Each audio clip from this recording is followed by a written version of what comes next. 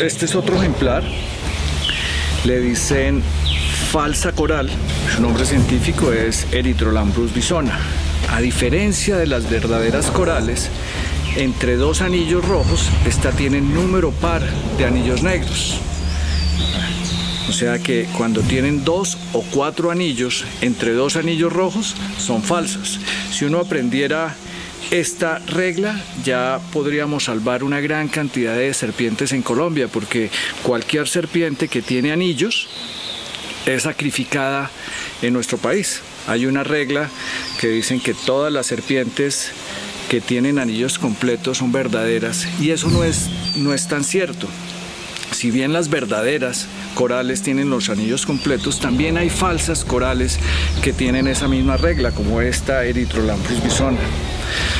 Si nos fijamos un poco en la cabeza, los ojos de esta serpiente son bastante más grandes que los ojos de las verdaderas corales, así que es otra característica.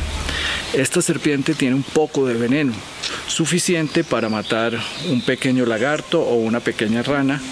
Al ser humano, pues no le va a hacer daño, no va a ser peligroso, quizás le pueda generar uno un poco de dolor o de rasquiña, pero pues ningún daño de consideración.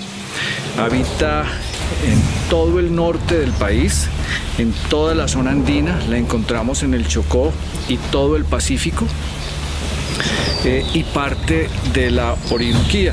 Ninguna serpiente en nuestro país tiene aguijón en la cola, así que eh, tenemos que liberarnos de ese mito que no es sino eso.